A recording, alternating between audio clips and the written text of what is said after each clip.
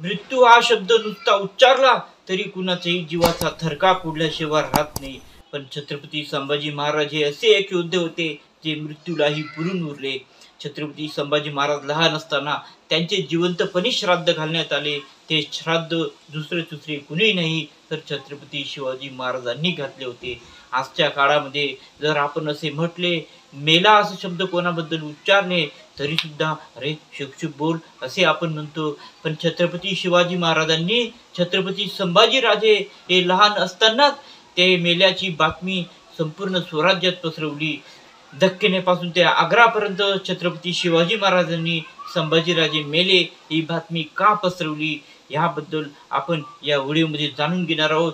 मित्रांनो हा व्हिडिओ फार महत्त्वपूर्ण आणि अतिशय ज्वलंत आहे म्हणून हा व्हिडिओ तुम्ही पूर्ण बघावा ही तुम्हाला नम्र विनंती जे या चॅनलवरती नवे नसतील त्यांनी हे चॅनल सबस्क्राईब करायला विसरू नका. जेणेकरून अशाच नवीन नवीन प्रसंगांची जुन्या प्रसंगांची तुम्हाला विस्तृत माहिती मिळत राहावी. छत्रपती शिवाजी महाराज औरंगजेबाच्या कैदेतून शितापीने निसटले. आणि नंतर काही दिवसांत आग्रा ते रायगड हा भयानक खडतर प्रवास करत एका वैराग्याच्या वेशात गडावर दाखल झाली. महाराज गडावर येताच संपूर्ण स्वराज्य आनंदात न्हावून निघाले होते. मासाहेब जिजाऊंसहित प्रत्येकाच्या डोळ्यांतून आनंदाश्रू थांबता सांबत नव्हते. महासाहेबांची भेट घेऊन राजे महालाबाहेर आले. संपूर्ण रयतेला महाराजांना मन भरून पाहायचे होते.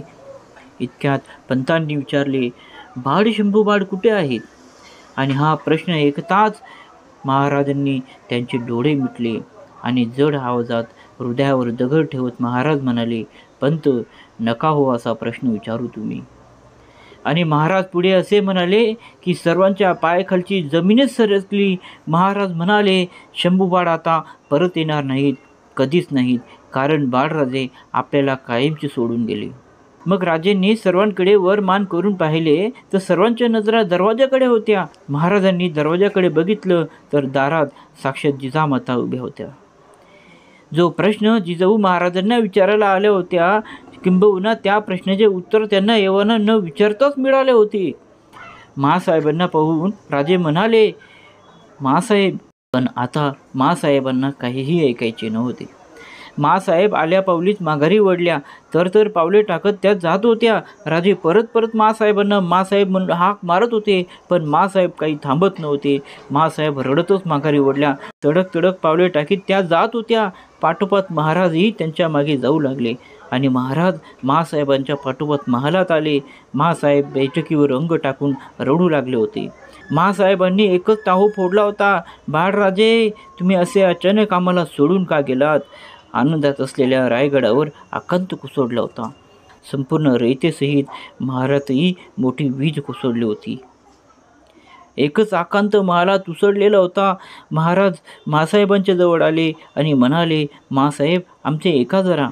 आणि तात्काळ मासाहेब बाजूला होऊन म्हणाल्या इतके ऐकले आणखी काय ऐकायचे राहिले? तुमच्या मोठ्यांच्या राजकारणात हकनात माझं पोर हरवलं. राजे निदान त्या सईला दिलेल्या वचनाची तरी आठवण ठेवायची होती. आणि तेवढ्यात राजे म्हणाले मासाहेब एका जरा आता देवघरात चला. काय? देवघरात? आता त्या देवघरात मी जाऊ कशाला? माझ्या बालकृष्णच राहिला नाही. तर आता त्या देवाघरात जाऊन मी करू तरी काय? मासाहेबांचे असुरू रोखणे आता कठीण झाले होते. मग राजेंनी मासाहेबांचे दंड धरले आणि मासाहेबांना बळजबरीने देवघरात घेऊन गेले. देवघराचे दार राजेंनी बंद केले आणि राजे म्हणाले मासाहेब महाराजांच्या जड आवाजाने मासाहेबांचे रडले थांबले आणि काही क्षणाने राजे म्हणाले मासाहेब आम्ही तुम्हाला नंतर सांगणार होतो पण तुमचा हा प्रचंड आक्रोश पाहून नाईलाजाने आम्हाला सांगावं लागत आहे. मासाहेब आपले बाळराजे एकदम सुखरूप आहेत. आणि हे एकटाच मासाहेब तब्द झाल्या आणि म्हणाल्या शिवभा होय मासाहेब मार्ग धोक्याचा होता म्हणून आम्ही त्यांना मथुरेत ठेवले आहे. पण ही जी अफवा आम्ही उठवली आहे तीच यापुढे कायम असली पाहिजे. आणि बाळराजे शत्रू मुलकातून घरी येईपर्यंत तुम्हीसुद्धा या बनाव्यात सामील झाले पाहिजे. मासाहेब योजना अशी आहे की बाळराजांच्या मृत्यूची बातमी सर्वदूर वण्यासारखी पसरेल. ती दिल्लीला औरंगजेबापर्यंत पोहोचेल आणि मगच औरंगजेब बाळराजांचा शोध घेणे थांबवेल. आणि त्यानंतर बाळराजे सुखरूप इथे येऊ शकतील. आणि हे सर्व ऐकून सुन्न झालेल्या मासाहेब म्हणाल्या शिवबा तुझे हे असे राजकारण ऐकून साध्या माणसांच्या आतडीत तुटतात रे. आणि राजे म्हणले चला मासाहेब तुम्हालाही या खेळात आता भाग घ्यायला हवा.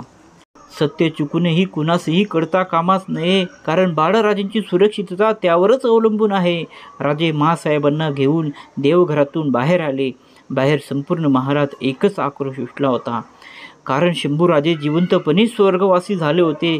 मित्रांनो छत्रपती शिवाजी महाराज हे राजे होते पण तसेच ते वडीलही होते. आपल्या स्वतःच्या जिवंत मुलाला मृत घोषित करायला तसेच स्वतःच्या मुलाला परमुलका सोडून येताना राजांच्या काळजाला किती वेदना झाल्या असतील? खरे तर या हिंमतीवरच त्यागावरच स्वराज्य उभे राहिले होते. त्या काळात अनेक छोटे मोठे राजे आपले राजेपण मिरवत मोगलांची चाकरी करत असत.